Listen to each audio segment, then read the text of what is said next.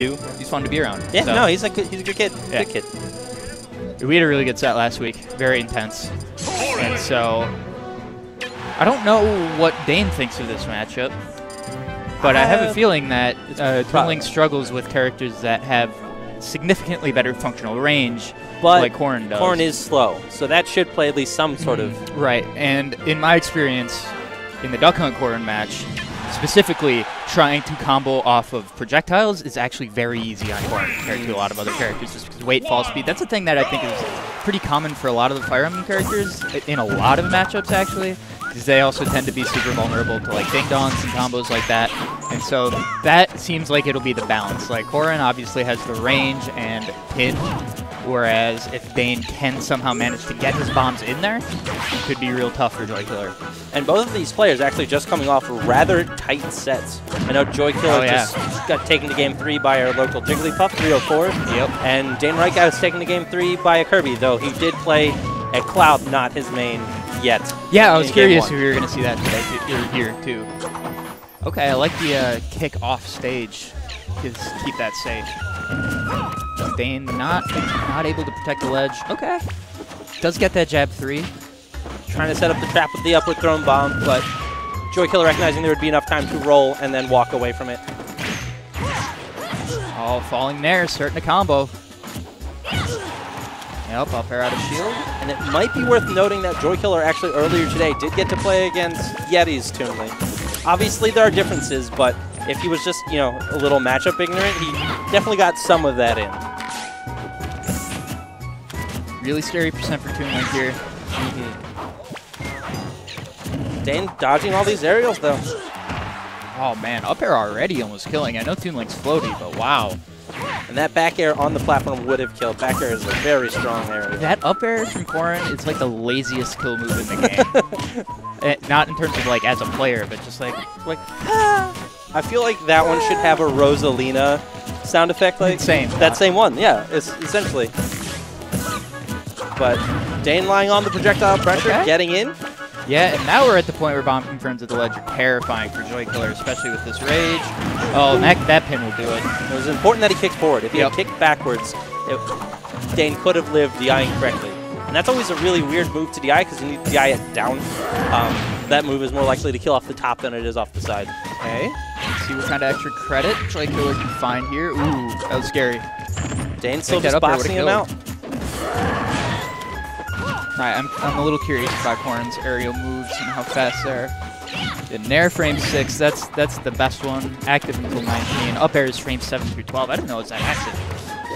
Oh, okay. I like the way it, trap. good tech by uh, Ooh, you gotta be scared Yeah. there. Yep. Oh! Oh! Yeah. Wow, that was closer than I expected, honestly. I think he was fighting a platform momentum a little bit. Oh, yeah, yeah, yeah. And honestly, I was equally worried for both of them because Dan had the back throw, but if Corrin or if Joy Killer caught him with the Dragon Fang shot, that would have Oh, been death yeah. too. Yep. Okay, Nair's out of it. Ooh, yeah, I don't think he really had anything to combo up from that distance anyway. We'll take that damage, obviously. But the immediate stage pressure he was taken away. Oh, okay. And you can Yeah, that didn't really work out for Joy Killer that well. No. But it was cool looking. and it is something just to try to catch people off guard because there's like only one punishable mm-hmm. Frame after that counter. And it'll put the uh, a little bit of fear into Dane to run forward and bomb. Yeah. Because then he might just run into that counter and he is mad dead to that counter if he gets hit by it. Dan again. racking up damage. Joy Killer just staying at the Yeah, ledge. so you know what I actually thought Joy Killer might do there was jump counter into that bomb. But I don't know if he was confident enough in the timing. Especially because Yeah, that's it. there it is. Really strong comeback from Dane Reich. He stayed really calm at uh, a percent where basically anything from Corrin is terrifying. And he showed that if he can just keep Joy Killer at that just beyond medium range, not much Corrin can do to get through it. Yeah. And Joy Killer might have to start choosing options at the ledge. Because honestly, he went from 70 to dead Yeah, just dangling there. Yeah, I think if Dane gives him another counterable projectile like that, Joy Killer needs to use it. Early strings, out of Toon Link, up tilt nonsense. How that back throw put the boomerang just high enough for it not to hit.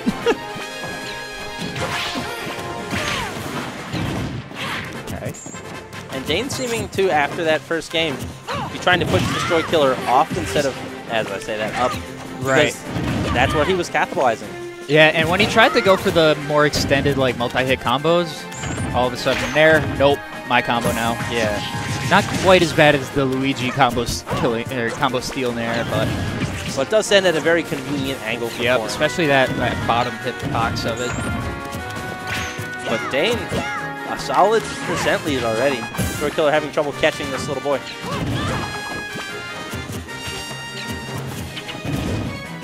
Okay, that that bomb really unfortunate for Dane. Lost all that stage position. Destroy Killer catches the jump with the instant pin. Okay, I like that. Now it's Destroy Killer's time to start catching up.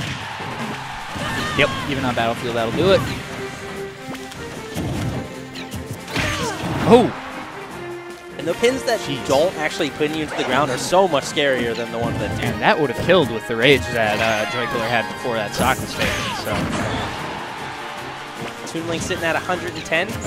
Dane Reich showed that he can play, you know, down, or not down, but high percents and not nervous, which is going to be important.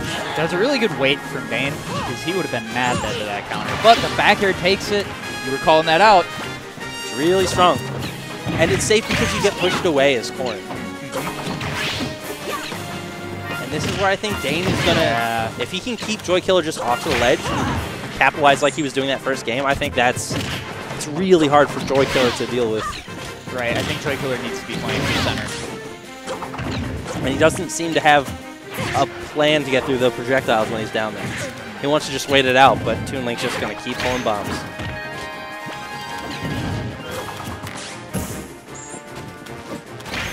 Yeah, he's, he's trying to play this really patient. Ooh, scary. I don't think that would have killed from center, but it's it's Toon Link forward smash. And Forward Smash 1 is not as unsafe as it was, Yeah. looks like it should be, because you're afraid of Forward Smash 2. Yeah, half the reason that you'll see Toon Links throw that out, especially when you see Yeti do it on the ledge, is to see what they're going to do next.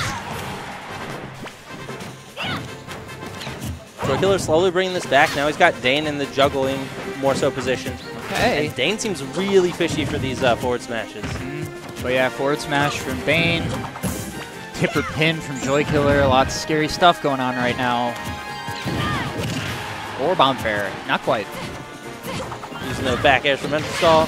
Should still be able Oh, to get up. Okay, that hitbox lasting just long enough, and that bomb blows up in Dane's hands. Back throw. Ooh, the spot dodge. Going to be living for now, but Joy Killer's in a in a rough spot. Dane's looking for another back throw.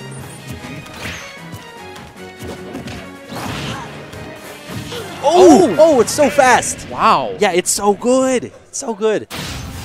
And that little wait from Joy before he threw it out made Dane think that he was out of the range Yeah. of like anything reactable. And the thing is, I'm not even sure that's a wait. I think that might just be the animation. Like, ah, sure. I thought he stalled a little bit before he threw it out, though. Still. Maybe. Or maybe he's just a little rusty on the RARs. But regardless, that was a good kill. I mean, if he just, yeah. Never. Game three. Again, you know the same thing that I was saying about Dane in game one. It's true about Joy Killer in game two. He did not panic, Yeah. And um, and actually staying on the ledge kind of worked out for him. it, yeah, he figured out how to get through. I think Dane was setting up less traps. Yeah. Because even though they weren't necessarily being fallen into, they were definitely doing some mental damage on Joy Killer Right, and there. he would just stay on the ledge until invincibility ran out, and then we saw this early in game two. Dane just F tilted him off the ledge. So Joy Killer at least aware that he has to do something. Yeah. Which Yeah. doing nothing is often a very good option in this game, but not always. Some characters, spe- specifically those with holdable projectiles, can force you to pick an option. Okay, calls out that jump, gets him stuck on the ledge again, jumps right through. Nice little up tilt back here combo though. Two perfect shields and then an arrow to the, the sternum.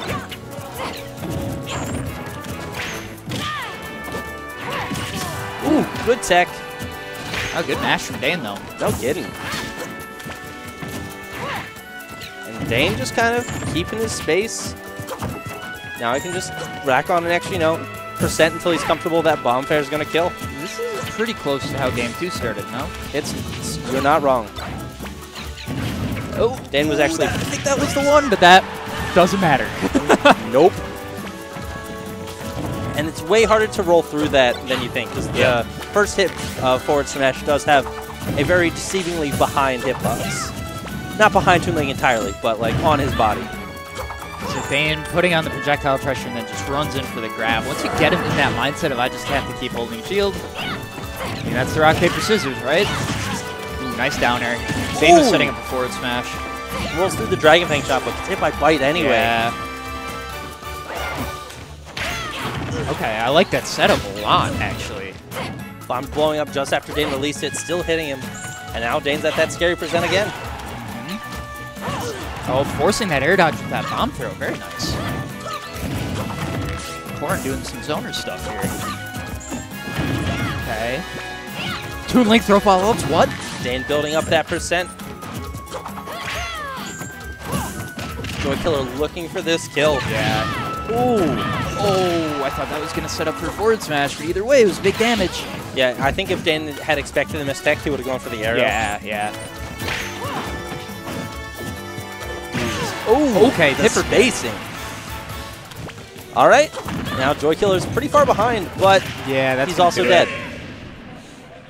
JV2 for Dane. Yeah, But pretty pretty tense set, all things considered. I would say so.